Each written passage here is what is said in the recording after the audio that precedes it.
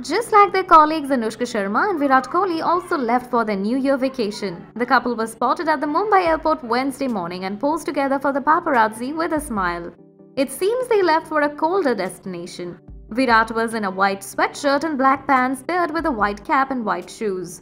He kept his hand around Anushka's shoulder as they took a few minutes to patiently pose for the paparazzi. Anushka was in a black high neck and denims paired with a woolen cap and held a white jacket in her hand. They also wore masks as they entered the airport.